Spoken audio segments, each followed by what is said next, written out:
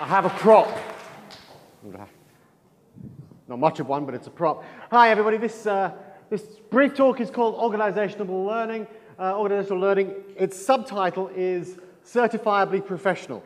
Uh, my name is Alan Montague. Oh, it's getting ahead of me. My name is Alan Montague, and last year in 2011, I became certified as a certified professional in learning and performance, CPLP. Now, we've been talking uh, about defining AI. What does that mean to us? Defining professionalism maybe is a next step to that in terms of AI.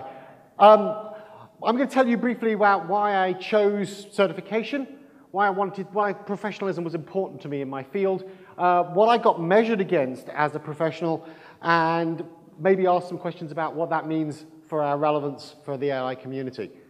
I chose it because I, I became a trainer kind of accidentally. I'm sure a whole bunch of us have done. I was relatively good at something. I, I asked to show somebody else that stuff.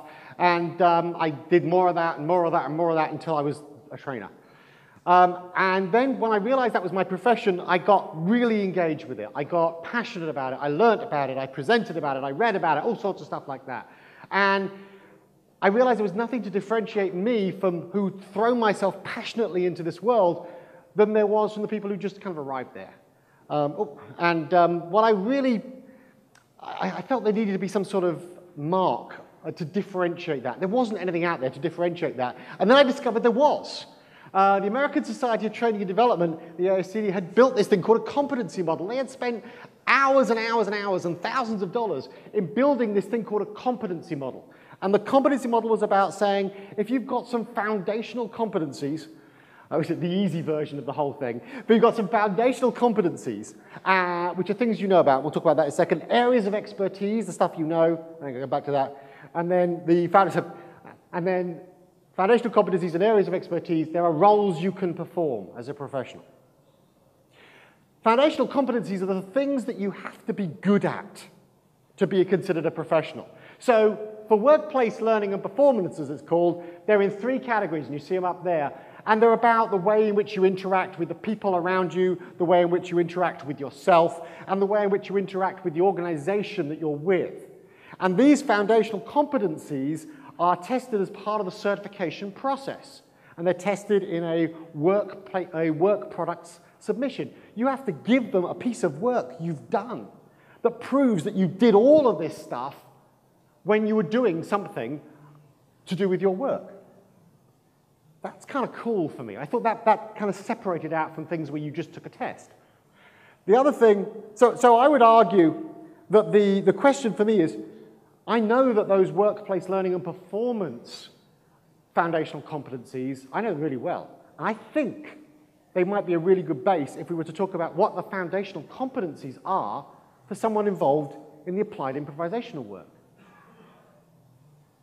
The next thing is the areas of expertise. There's a whole bunch of them. There's nine of them. Uh, you have to learn all of these things because the other part of the certification is a test. You get 150 questions. There's a whole, you know, that, that shows that for every five people who take that test, uh, one of them doesn't make it. The pass rate's 80%. Uh, you have to pass 75% of those 150 questions. And the kicker on that is each of these areas you have to get more than 50% on. So you can't even say, well, I don't really want to know that much about managing organizational knowledge. You have to know the whole breadth of it. And that was the thing that, I, again, I found cool. It was the breadth of knowledge and the depth of the foundational competencies. Now, for applied improvisation, I have some thoughts but no clear ideas about what they might be. And maybe that's an area for us to discuss. Okay, uh, the final thing is some roles. So if, you're, if you know a bunch of stuff and how to apply that bunch of stuff using some certain solid foundational skills, then you can be a professional and paid as it. Uh, in the workplace learning and performance field, there's a whole bunch of, of titles there that, that you could be considered as, as a professional. For me, the interesting question is, well, we've got about 200 people in this room. I think there's probably about 170 to 200 different things that we do here. I would be really interested to work out what those generic titles and roles would be for what we did to be a professional in applied improvisation. My final question here is, we are the Applied Improvisation Network we are defining all the time what it is to be applied improvisational. I'm wondering if we need to define what it means to be a professional in that field. If we do, this might be a start for that, for that conversation. I hope in these couple of minutes I've given you, I've given you a chance to think about that and decide whether or not that's an area, part of the change we want to see or be. Thank you.